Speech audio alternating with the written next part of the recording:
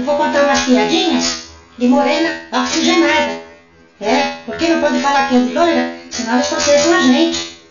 Hoje está muito chato. Apesar vocês podem processar o robô.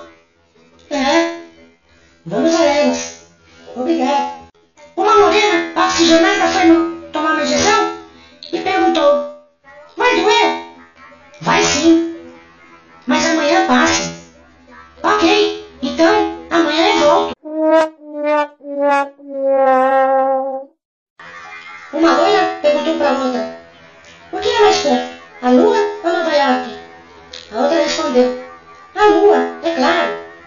Por quê? Porque daqui dá para se ver a lua, mas não dá para ver Nova York. Bé! Uma loira perguntou ao vendedor ambulante: Moço, o que você está vendendo? Sementes de maçã, responde ele. Se a senhora comê-las, a senhora fica mais inteligente. É? Então me dê cinco. São dez reais, responde ele. E ela comeu na hora.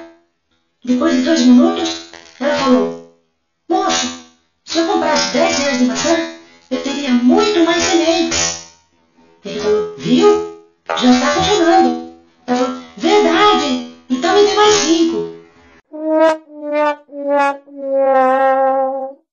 E agora, a última, porque não é fácil ficar se equilibrando em uma rodinha só. Loira na autoescola. Chega na autoescola, vestida de goleiro. O instrutor pergunta: Por que você veio vestida assim? Bé, foi você mesmo que me falou que o Celta tá, estava ocupado e queria me treinar ao gol. E se você gostou dessas piadas das morenas oxigenadas, siga essas instruções. Até a próxima!